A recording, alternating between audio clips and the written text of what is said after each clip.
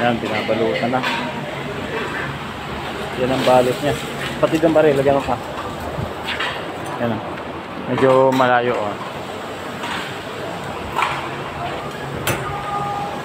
Yung binabalot na yan guys, fiber.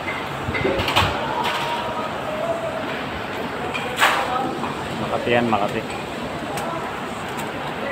Ito ito. Gitnaan mo rin, gitnaan mo.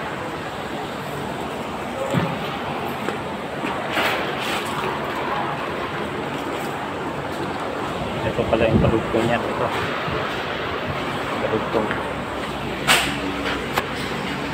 Ang ginagamit namin tangke. Dito namin kakabit yan.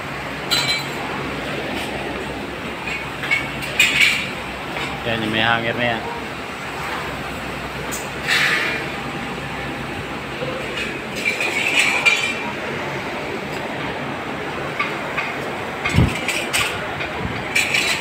Okay.